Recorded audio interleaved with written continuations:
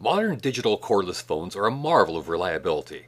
They can be used a long distance away from their base units, maintain a relatively clear audio signal over that distance, and are cheap and plentiful. Broadcast quality wireless microphones, on the other hand, require advanced digital technology to maintain that professional sound.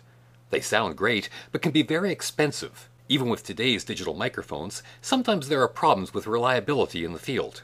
Can a cheap cordless phone be converted into a wireless microphone, and how good would the quality be? Let's find out. I picked up this digital cordless phone from a used goods store for $5. It was missing the wall charger, the rechargeable batteries in the handset, and the owner's manual. I found the manual online, bought a couple of batteries, and scavenged around to find a replacement wall charger. A quick test of the unit showed that it was in perfect working order. Now the fun begins. Pop open the base unit and turn on the handset. Start probing around with an oscilloscope on all of these test pads located all over the circuit board while simultaneously scratching on the microphone to make some noise. Eventually, you'll find a source of audio that peaks around a couple of dozen millivolts with no DC component. That's the spot you're looking for. Tack solder an audio jack to this point into a common ground connection.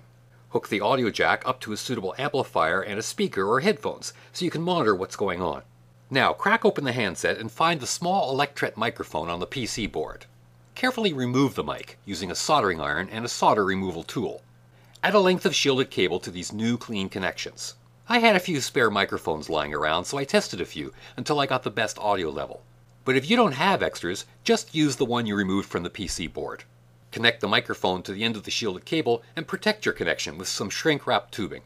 Close the handset back up and then make a nice job of the base unit with some more shielded cable and position the audio output jack on a suitable area on the base PC board. Drill a hole through the back of the base unit shell for the new jack, and then close up the unit. That's it. You're done. So how well does this thing work? Well, right now, you're listening to the base unit plugged directly into my camcorder across the room. Now, of course, it sounds a little bit like a telephone, which isn't too surprising, really. But with a little bit of equalization, it can sound somewhat better.